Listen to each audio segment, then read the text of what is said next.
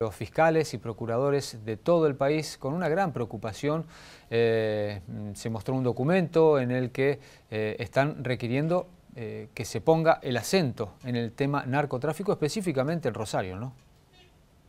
Sí,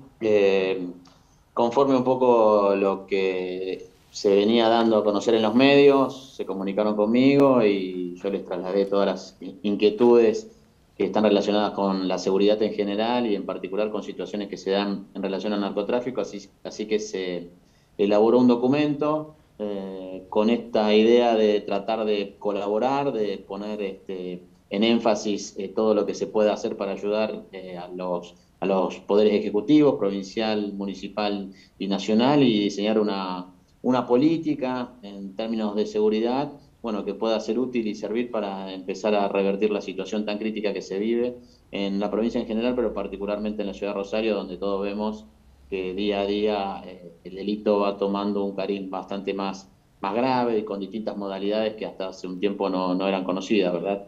Em, hay que hacer algunas distinciones, eh, Baclini, porque eh, generalmente la, gente dice, bueno, la justicia es lenta, pero claro, la justicia llega cuando se cometió el delito, antes no se puede, no tenemos eh, delitos de autor, sino de acto, entonces siempre va atrás del acto, de lo que ocurre. Y otra cuestión es que esto corresponde al fuero federal, eh, aquí solamente se pueden juzgar delitos comunes, Claro, claro, muy buena la, apreciación que estás dando. Eh, hay que distinguir entre lo que es lo preventivo, que es materia de actuación de la policía, para lo cual se tiene que diseñar un, plan, un programa, que es un poco lo, también lo que estamos reclamando, que se sepa bien eh, cómo va a actuar la policía en el sentido preventivo. Fundamentalmente aquí la policía provincial, pero también es necesario la articulación con las fuerzas federales y por otro lado, cuando se comete el delito, la, eh, la, intervención que tiene que tener la justicia provincial, en nuestro caso, y en todo lo que hace el narcotráfico, eh, la justicia federal. Hoy nos encontramos con una situación eh, paradójica donde la, la, justicia provincial termina encarcelando por delitos comunes a muchas personas que tienen vinculación con organizaciones criminales relacionadas con el narcotráfico y que eh, si en una visión este, puntual y aguda se podría determinar que en una, en una identificación de situaciones de narcotráfico o microtráfico de droga como las que tenemos aquí, eh, podrían estar ya detenidas por el fuero eh, federal. Pero bueno, todo esto nos demanda un replanteo de la, de la situación en general de lo que es la persecución penal en general, de todo el funcionamiento del sistema penal en general en la provincia. ¿no? otra aclaración que vale hacer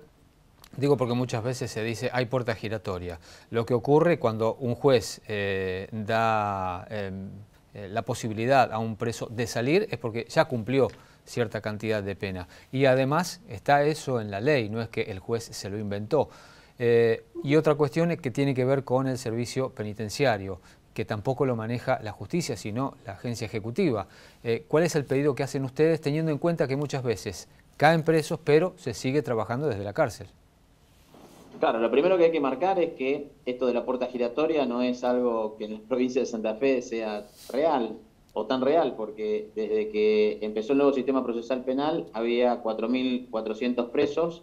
y hoy, nueve años después, hay casi el doble. Entonces esto también es una alerta. Las cárceles en la provincia ya están generando situaciones este, de abarrotamiento, entonces hay que empezar a pensar de que se encarcelan personas pero esto no tiene una incidencia directa en términos de seguridad, es decir, hay que pensar de que eh, en, esta forma que estamos trabajando, si no se toman medidas de acción integral eh, y más multiagenciales en relación al delito, no es que se va a solucionar el problema, aquí hay que pensar el delito desde otros fenómenos, más allá de que el sistema penal obviamente tiene que seguir interviniendo.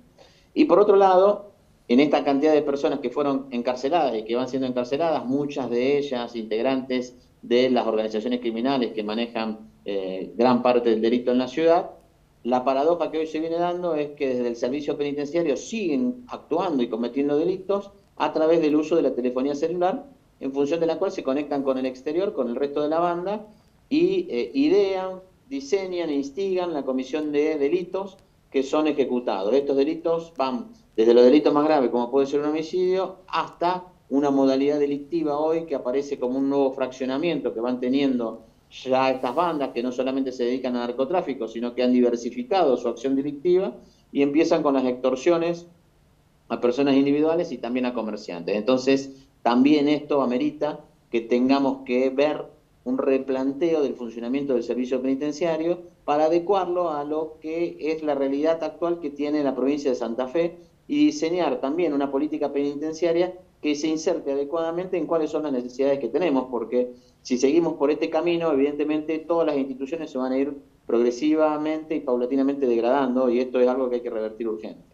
Eh, una más, eh, Baclini, eh, la ley de ejecución penal, la 24660, dice taxativamente que no se puede eh, tener celulares en las celdas. ¿Hay respuesta, digo, para que no se cumpla con esa ley?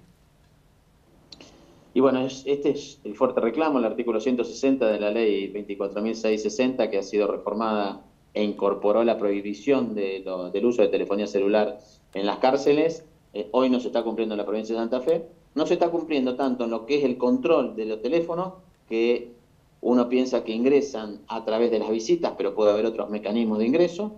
Esto es lo primero que hay que, verificar. Pero bueno, también teniendo en cuenta que estos controles se vulneran, hay que verificar una política más adecuada colocando inhibidores. Y este mismo artículo 160 de la ley también establece que deben colocarse inhibidores de señales en eh, las cárceles para evitar justamente el contacto sin control de los detenidos con el mundo exterior. Esto hay que regularlo adecuadamente, no es que no haya, no tenga el, reo que comunicarse, pero tiene que comunicarse en la medida que pueda existir un control. Hoy, con la dinámica que tenemos en la provincia de Santa Fe, la verdad es que no podemos entender que se sigan orquestando delitos desde las cárceles.